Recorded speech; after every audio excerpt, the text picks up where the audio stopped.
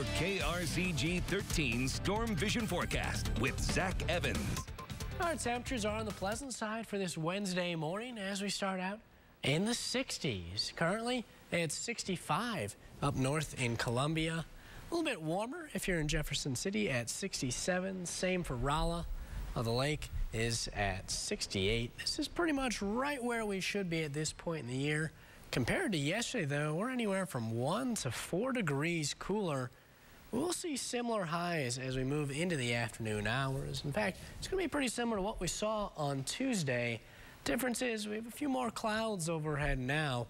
Look for partly cloudy skies through the day. A little bit of spotty rain showing up in Pulaski County as there's showers and storms along the Missouri and Arkansas border.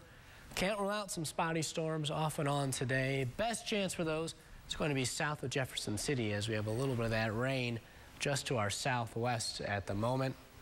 We'll see what's happening across the region. The cold front that moved to our south has now stalled, and that's going to be the focus of rain over the next several days. This is going to attempt to lift towards north, bringing that rain with it, but high pressure is going to try to block that. It's spinning over portions of Indiana and Illinois, sending in that pleasant dry air from the northeast and the east. When we switch over to the hour by hour forecast, this model shows that rain breaking up. Still some showers, maybe a few thunderstorms are going to be possible.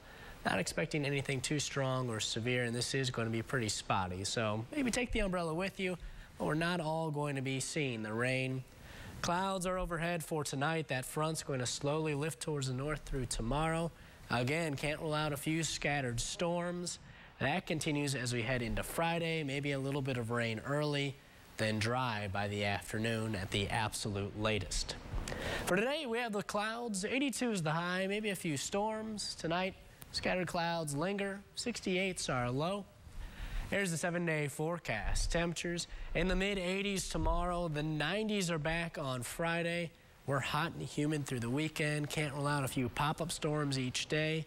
The best chances looking like Sunday and Monday.